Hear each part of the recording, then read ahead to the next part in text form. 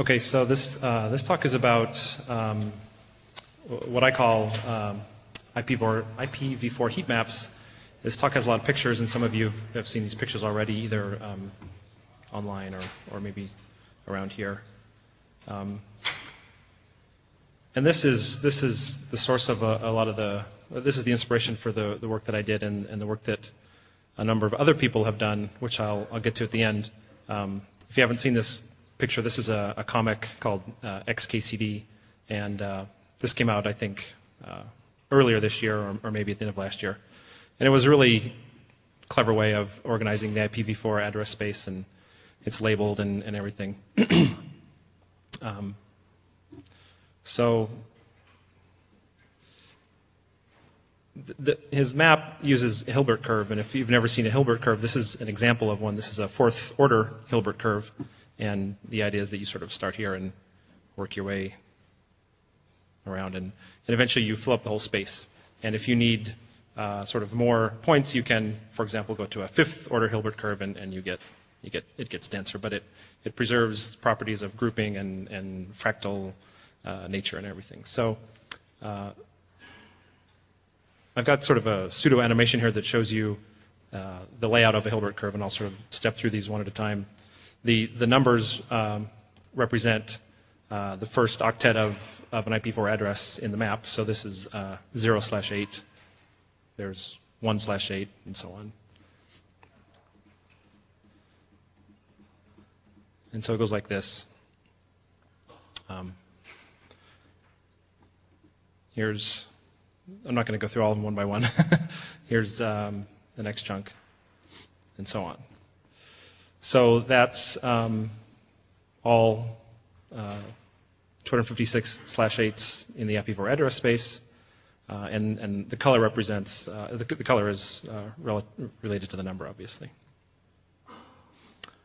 Um, I'm going to back up a little bit and make one more point clear. Um, so here's, here's, a, here's a slash 8 sized chunk. Here's a uh, slash 7 sized chunk. Here's a slash 6. Um, here's a slash 5. So what's, what's cited about this map is that CIDR prefixes are always squares or rectangles. There's a slash 4, slash 3, slash 2, slash 1, and so on. Um, this little picture shows the address space um, in the map colored by the old pre-CIDR uh, nomenclatures. So class A, B, C, D, and E. This picture is uh, the first data set that I actually um, visualized using, using the software. This is, um, represents the locations of OpenDNS resolvers in a survey done by John Kristoff.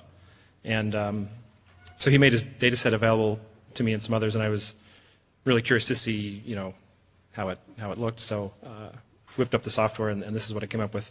I realized that at this level, it's really hard to see. Um, so I have a sort of a, here's a zoom in section on some, some RIPE address space. And you can see different patterns and, you know, different blocks have different characteristics like, uh, you know, for the most part, uh, the, dark blue represents about one address open in that slash 24. Um, the lighter blue, I have to go back to the scale here, but you know, when we get into these lighter blues, we're talking 30, 40%, and so on. and here's a, another map. Um, this is from RouteViews data. This is uh, a BGP snapshot uh, taken about a month or so ago. And here the color represents the size of an announcement in the routing table. And so one thing that sort of stands out is, is you can see you know, up, up in this corner is the really early Class A holders. Um, here's a lot of uh, RIR, RIR allocations, um, ARIN, APNIC, and so on. Here's a lot of the early Class B, and it, and it just looks a lot different. Uh, here's, here's the old Class C space. And I'm going to zoom in on one section to, to highlight some of this. This is um, obviously uh, 15, 16, 12 and 17. but you can see, um, for example, that the, in, in this visualization, shows that different uh, prefixes in the routing table overlap. So for example, the purple represents something like a slash 8 announcement, and then the blues and the greens are more specific routes. And um, obviously, AT&T has a lot of very specific routes in the table.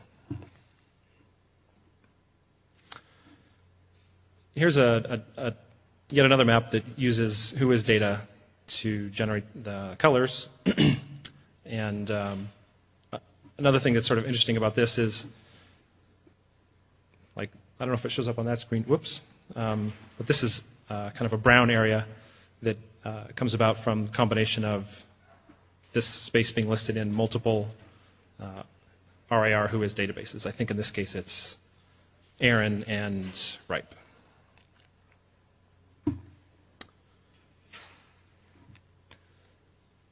This picture is from, uh, from the census that ISI recently published and has been doing for a few years. The colors here represent round trip time in milliseconds from ISI to their targets. Um, just yet another way of, of looking at these types of data sets. So as I said, um, in doing this work, I, you know, at first I thought I was being really clever and unique, and I would be the first one to do this, but of course that's never the case. And uh, these URLs point to people that are, are currently doing the same thing or have already done the same thing. The, the first one is a tech report from um, Pennsylvania that came out in 2005, and they have some visualizations using this technique, uh, visual, visualizations of BGP data using that technique. And um, the monkey.org URL is interesting because they've uh, put the data into the Google Maps interface so you can zoom in and uh, you can type in your IP address and it'll, it'll put up a little flag where your IP address is. uh, ISI mentioned, they've um, used the same technique and re recently published their data. Um, there's a couple others there. There's a, a URL where you can, you can uh, download the source code for this. You can uh, browse some full-size images uh, which I highly recommend because they don't come out very well on the screen here. And there's also some animations. And uh, if I have time and there's no questions, I have an animation that I could maybe show on the screen. How much time do we have? Are there any questions, or should I try the?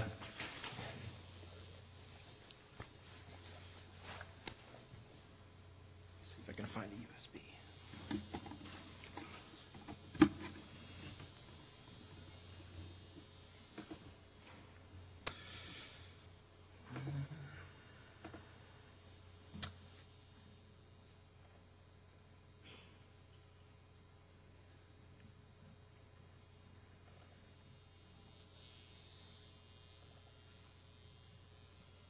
I didn't test this beforehand, so I have no idea if it's going to play.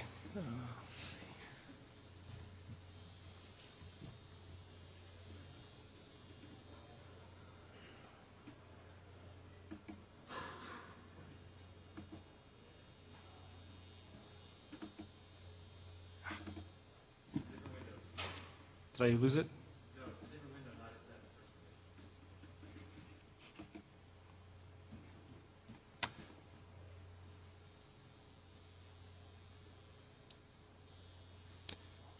It's kind of a big file. But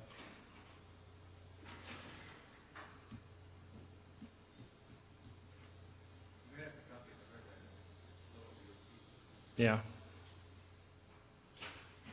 Well, if it works, it works.